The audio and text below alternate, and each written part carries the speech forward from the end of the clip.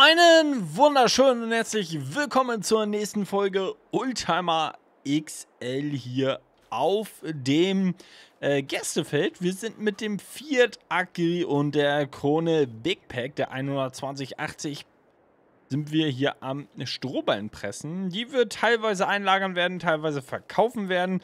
Ähm, ich möchte aber auch verkaufen, also ich möchte auch testen, ob wir mit einem Ladewagen verkaufen können.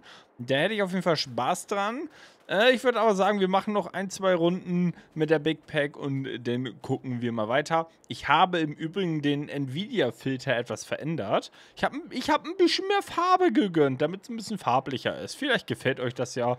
Schreibt das gerne in die Kommentare. Ich zeige euch gerne nochmal mit Filter, ohne Filter. Mit Filter, ohne Filter. Vorher hatte ich das tatsächlich, jetzt muss ich mal ein bisschen gucken. Äh, vorher hatte ich hier ein klein wenig kälter das Ganze, irgendwie auf minus, äh, minus 20 und hier auch irgendwie auch so um den Dreh, so sah es vorher aus. Jetzt habe ich mich dafür entschieden, na, ein klein wenig mehr Farbe zuzulassen. Wie gesagt, mit Filter, äh, ohne Filter, mit Filter. So sieht das Ganze doch ganz gut aus. Wir starten den Motor. Ich muss mich ein bisschen beeilen. Also ich muss nicht, aber es wäre nicht schlecht, denn in 10 Minuten kommt mein Essen. Ich habe mir jetzt auf dem Sonntag einfach mal gegönnt, mir was für Essen zu kaufen. Beziehungsweise zu bestellen. Äh, ein, ein Burger. Ein Burger und äh, ähm, Knoblauchbrot. Hatte ich Bock drauf. Das kommt gleich. Ich habe immer noch meinen Joystick hier.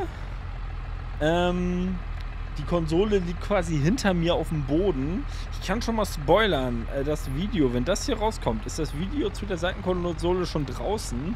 Denn ich dürfte Mitte nächster Woche fertig werden und diese Folge kommt deutlich später raus. Ich bin ja so ein bisschen am Vorproduzieren. Schaut gerne in das Video von der Seitenkonsole rein. Spoiler, es ist nicht alles so gelaufen, wie ich es mir vorgestellt habe. Es gab die eine oder andere kleinere Katastrophe. Ähm, ja, so viel dazu. Vielleicht kann ich die eine oder andere Katastrophe noch äh, abwinden und zu was äh, Gutem führen. Aber insgesamt sieht es gar nicht. Also insgesamt ist es so, wie ich es mir vorgestellt habe. Ich habe aber hier an der einen oder anderen Stelle ein bisschen gefuscht und das sieht man denn leider auch. So, wir machen wirklich sagen, diese und noch zwei Bahnen und danach werden wir auf den Ladewagen umsteigen, in der Hoffnung nach wie vor, dass wir ähm, hier auf der Karte mit einem Ladewagen Stroh verkaufen können. Was wir machen könnten, ist mit dem Ladewagen bei uns in das Strohlager einzulagern. Dann wird es automatisch zu ballen, aber das ist nicht das, was ich möchte. Ähm, aber zum Verkaufen wird mir das tatsächlich reichen, losen Stroh zu verkaufen. Und ich glaube, mein Essen ist gerade auf dem Hof gefahren. Wir werden es gleich sehen, wenn es äh, klingelt oder auch nicht klingelt. Das ist hier die Frage. Und hier der Fiat Acri, der zieht ordentlich durch. Im Übrigen, ich habe nochmal, ich war ja der Meinung, dass ich die REA-Mods deaktiviert habe.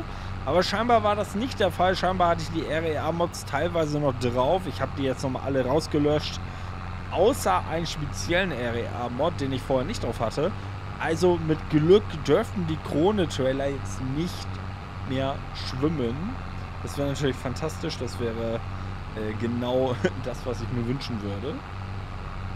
Dass die Krone-Trailer jetzt gerade da stehen bleiben, wo sie stehen bleiben sollten. So, das war denn die letzte Bahn, die ich äh, für uns pressen wollte. Der Rest wird verkauft, das heißt, wir düsen mal schnell zum Hof, holen den Ladewagen und ja, wenn, wenn alles gut läuft, dann äh, vereinfachen wir uns damit den Job. Zumindest ist das so der Plan von mir. So, let's go. Attacke, gib ihn auf zum Hof. Das ist aber auch jedes Mal eine Stolperstrecke. Das ist ja unglaublich, ey. aber nun ja, deswegen mögen wir die Karte ja so, so ein bisschen zumindest. Und jetzt bin ich leider zu weit gefahren. Denn die Big Pack kommt natürlich nach da oben. So, gucken, ob wir die da hinkriegen. Allerdings möchte die nicht sehr schnell fahren, okay. 8 km/h rückwärts, mehr geht nicht. Sehr interessant. Nun ja, dann schnappen wir uns jetzt gleich mal einen unserer wunderschönen Krone-Ladewegen. Äh, Klaas, nicht Krone, sorry. Und äh, dann geht's äh, rund äh, beim Verkauf in der Hoffnung, dass das funktionieren wird. So. Schön geschmeidig rückwärts hier ran. Da hängen wir die mal ab. Und dann sehen wir uns gleich auf dem Feld wieder. Da fahren wir mit dem kleinen Sprint 445 äh, K und äh, fahren tatsächlich neben der Spur und lassen deswegen einige stehen. Das wollen wir natürlich nicht. Also wieder aus der Innenperspektive und, und drückt mir die Daumen, dass wir die Ball, dass wir es verkaufen können und nicht alles zu Ballen pressen müssen. Ansonsten, ansonsten könnten wir es auch andersrum machen. Wir fahren äh, denn alles mit dem Ladewagen in unser Strohlager rein und äh, die Ballen, die jetzt gepresst sind, die verkaufen wir. Das wäre natürlich auch noch ein Deal.